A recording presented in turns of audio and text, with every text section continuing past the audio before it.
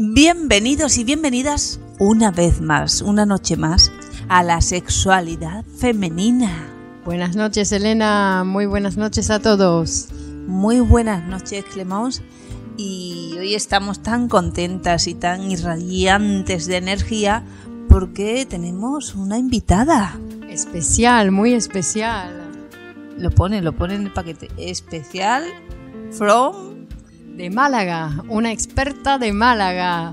Laura López, psicoanalista de Málaga, nos viene a visitar aquí en Madrid. Estamos muy contentos, muy contentas de tenerla con nosotras. Laura López, según Clemos Luni, experta en sexualidad femenina, ¿verdad? Por supuesto. Y ya que decías especial, se me ocurrió espacial, porque a veces uno se siente como que está en otra onda, en otro espacio. Es difícil hablar con personas de cosas que a todo el mundo nos influyen y hay que hacer un desvío ahí. Bueno, Laura López es psicoanalista de Grupo Cero que trabaja en Málaga. Además ha sido copresentadora del programa de televisión La sexualidad femenina, conmigo ahí en nuestras andaduras televisivas y ahora es una colaboradora habitual de varios programas de televisión, realiza una importante actividad de difusión del psicoanálisis en Málaga y además, bueno, en el tema de la mujer y en la colaboración en cualquier trabajo que tenga que ver con la promoción de la mujer, también coautora del siglo de la mujer del siglo XXI. Entonces, eh, cualquier contribución a eso, eres una, una soldado, vamos, hasta la muerte. Sí, pero el soldado se tiene que curtir, ¿eh? que eso es importante, porque pensar así es difícil, porque tienes que derribar barreras, prejuicios, cuestiones que tienen que ver contigo y eso solo lo puede hacer el psicoanálisis. Vaya batalla, ¿eh? Una batalla dura, pero, pero interesante, ¿no? Y te hace, te hace tener también ese sentido del humor para que tú puedas pues, decirle cosas a la gente de una manera un poco encubierta, pero, pero que sepas lo que le estás diciendo. ¿Que el psicoanálisis despierta el humor? Por supuesto. El psicoanálisis te cambia todo, te despierta el humor, te despierta la sexualidad, te hace ser una mujer viva, y es lo que estábamos hablando a veces fuera de cámara, ¿no? Decimos que, hay que psicoanalizarse porque te ayuda a producir esa otra mujer que tú tenías ahí escondida como en un baúl, en una puerta oscura que no, no te atrevías ni a sacarla fuera. Porque hay mujeres que todavía se escandalizan de muchas cosas, ¿eh? Pero tú has sacado toda la mujer que eres. Yo he sacado mi mujer una, dos, tres, cuatro, cinco, seis, siete. Te puedo llevar a contar numerosas mujeres, pero pero todavía quedan algunas por sacar. Ah, Necesito vuestra energía, la de vosotras y la de muchas más mujeres, porque si no nos unimos más mujeres va a ser imposible. Claro. La energía de todas, la energía de todas. Bueno, yo brindo con champán, porque la verdad Laura viene con mucha energía desde Málaga y evidentemente lidera un movimiento muy importante para el psicoanálisis, para la poesía y para la mujer, porque además eh, se está constituyendo una asociación mm, para las mujeres y para desarrollar el psicoanálisis en Málaga. Bueno, que, ese discurso que sostiene, lo sostiene porque su deseo le lleva en ese camino. Por eso esa seguridad y por eso esa confianza en que no va a estar sola para, para esa lucha que es una lucha pacífica. Es la lucha del amor, la lucha de la construcción de la palabra, de la palabra. Sí, porque a veces se confunde lo que es la sexualidad con la genitalidad y eso es algo que, hay gente que no lo entiende. Pero claro, no quiere decir una... Porque tú muchas veces ves a una mujer como que es muy lanzada, que habla de lo genital, de sus encuentros, pero no, lo más revolucionario es hablar de, tu, de la vida, de, de cómo construyes la cultura, de cómo construyes tu deseo, cómo lanzas, te quitas un poco de ese yugo a veces familiar que te hace solamente creer en, lo que es la familia, en lo que es eh, tu, propio lugar en, dentro de ahí, pero proyectarte fuera de ahí es a veces complicado y aunque creamos que hayamos superado muchas barreras, es difícil porque se, se escuchan frases, se escuchan pensamientos, ¿no? Se vive de una manera que todavía hay algo que, que no, no se ha terminado de romper, ¿no? Bueno, pero por eso estamos nosotras aquí, eh, por un lado, y después no sé si lo vamos a conseguir romper del todo, sino que es enseñar que nosotras hemos podido algo y que entonces invitamos a las que están ahí oyendo y dicen yo también quiero eso para mí, que sea posible, porque mm, cambiar el mundo no vamos a poder, pero cambiar una por una, así poco a poco vamos a ir cambiando el espíritu femenino. El amor existe y la libertad. Descúbrelo con nosotras. Podemos ayudarte a vivir mejor tus relaciones. Teléfono de consultas 91 55 96 436. Llámanos. Claro, y el espíritu también es un pensamiento mm, para muchos desconocidos, porque en estos tiempos el espíritu se, se, cultiva poco y a veces hay un culto a, a lo corporal o a lo, a lo un poco digital y se olvida la cuestión relativa a las relaciones sociales, a estudiar lo que otros han dicho que tenemos que ir construyendo para, para hacer. Aquí a veces en, en la sexualidad femenina les traemos poemas y no es por una cosa caprichosa, sino es que en el camino de la poesía, de esa cosa tan compleja y, que tenemos que ir aprendiendo a incorporar en nuestra vida cotidiana, la poesía trae las claves de la construcción de ese futuro que deseamos, pero si no hacemos un trabajo para evitar esas palabras que ya están escritas, no vamos a poder adquirir ese, ese saber que necesitamos para nuestra convivencia. Una de las cosas que yo aprendí, que me ha abierto muchísima realidad en muchísimos mundos, bueno, una de las frases que, se me ha quedado muy grabada es, hazlo todo como si fuera verdad. Y aparte también lo que te ofrece la poesía, el psicoanálisis, porque te permite poder pronunciar más palabras de las que tú habitualmente tenías en, en ti, ¿no?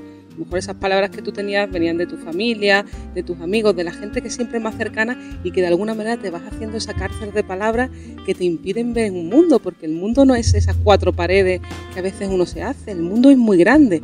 Si tú puedes pronunciar más palabras, tú vas a poder abrirte a muchas más relaciones, a mucho más mundos.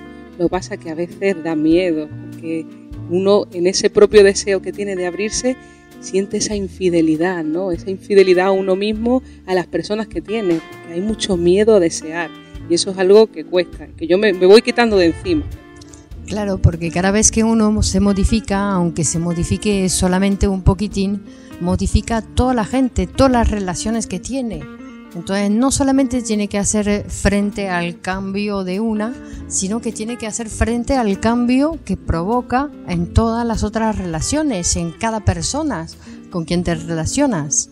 Pero eso es porque tenemos que pensar que vivimos todos juntos, que no podemos aislarnos, que es imposible aislar, aislarnos. Entonces cada, cada movimiento de una es un movimiento para todas. Claro, lo que pasa es que a veces eso no se ve, ¿no? Uno, uno cree que la vida que tiene es suya, que es solamente tuya, y se nota en la frase, ¿no? Cuando uno empieza a hablar nada más que... Para que nos demos cuenta, ¿no? De las personas que están escuchando, ¿no? Si tú en tu discurso solamente hablas de ti, mi, mi, me, pronombre, ¿no? Y posesivo, quiere decir que aún no tienes puesto esa sexualidad en lo social porque si tú hablas con personas de proyectos, haces cosas, ya empiezas a generar ideas y empiezas a poner toda esa energía fuera de ti mismo. Y eso hace que haya un movimiento y que te retroalimente a ti también, ¿no? Y que otras muchas personas lo hagan. Pero suena un como un discurso. Es una orgía. Eh, suena, suena un discurso mm, bastante desconocido y lejano para la mayoría de la gente. Eh, suena bonito lo que planteas, pero ¿cómo, cualquier persona, o si fuéramos periodistas, que no lo somos, somos psicoanalistas como tú, escuchara esto diría, pero mm, ¿de qué, me, ¿de qué me hablas? ¿De qué sexualidad me hablas? ¿Sexualidad puesta en lo social? Eh, es como si lo tuviera muy pegado la palabra sexualidad a lo que yo eh, conozco como sexualidad. Y tú me hablas lo social como... Es decir, que si yo lo extrapolo a los sentidos que tengo, la verdad que me suenas a un metalenguaje. Pero ¿sabes por qué, Elena? Porque hay mucho miedo. Uno se queda anclado en ese miedo y si, si tú no, no desarrollas palabras fuera de ti, no estableces otras relaciones con otras personas, eres infiel a las relaciones que tienes a tu alrededor, en el sentido de que hay personas que, que no quieren salir de, de, la misma gente que tienen siempre porque temen conocer a otros que le proporcionan una vida diferente. Y eso da muchísimo más miedo. No te das cuenta que a la vez que enriqueces tu vida, enriqueces la de los que están alrededor, ¿no? A partir de septiembre, por tan solo 5 euros, podrás asistir los sábados por la mañana al taller de sexualidad que impartirán nuestras psicoanalistas Elena Trujillo y Clemence Lonis. Consigue tu plaza escribiéndonos a la sexualidad femenina radio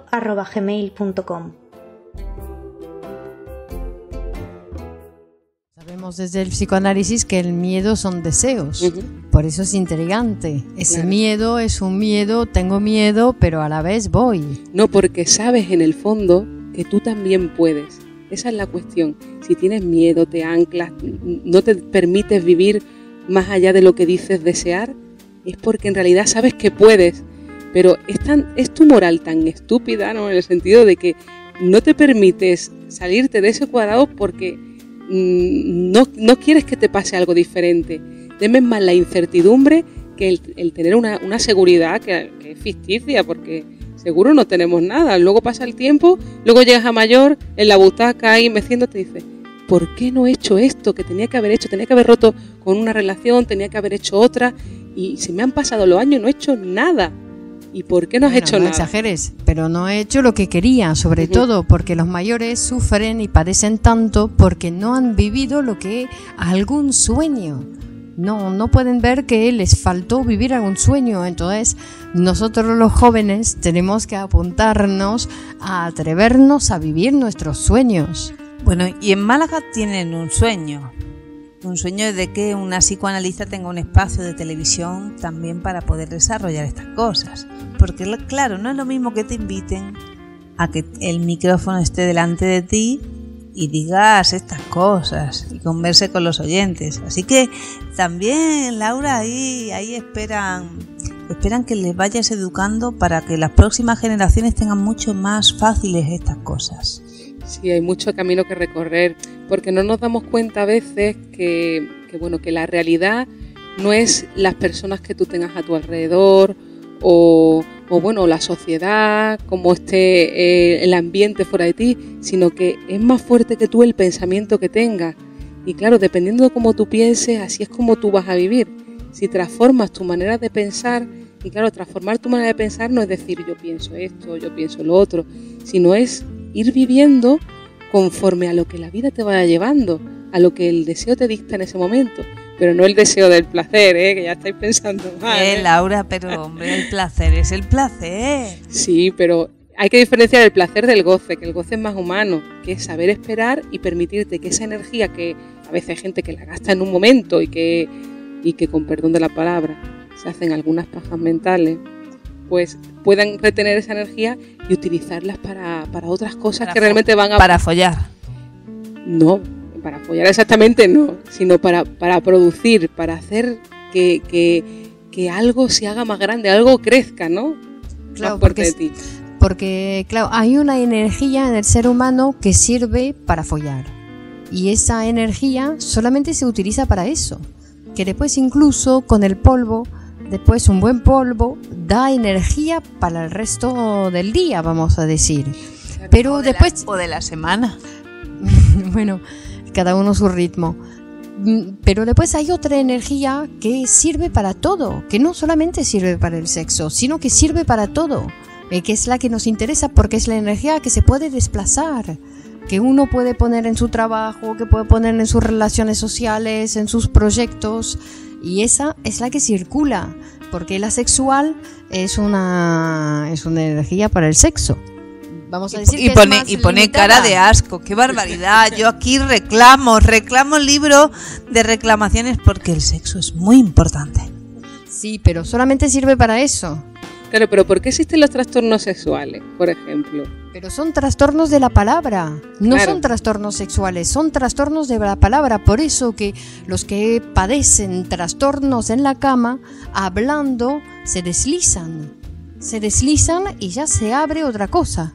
Bueno, en este desliz, en esos trastornos sexuales de la palabra, yo creo que emplazamos a nuestros oyentes al próximo programa donde vamos a poder hablar de, este tema tan interesante que, se ha producido en el programa de hoy, pero llega la hora de despedirse para que ustedes hagan el amor, la guerra, duerman o vayan a trabajar, hagan lo que, lo que ustedes deseen, pero cuéntenlo. Escríbanos al buzón de correo electrónico la sexualidad femenina radio arroba. Muy buenas noches a todos y hasta la próxima. Muchas gracias Laura. Adiós. Muchas gracias a vosotros. En la noche éramos eternos.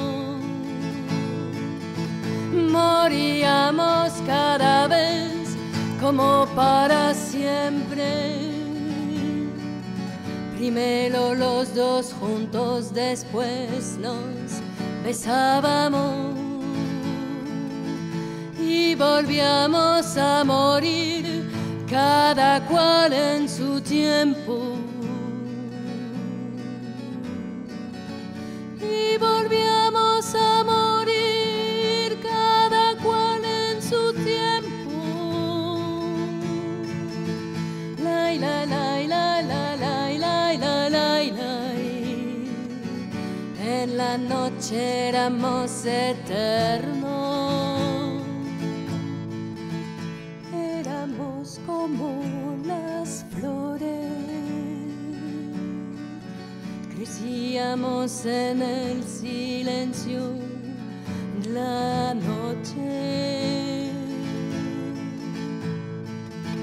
Tus gritos de amor atraían sobre nosotros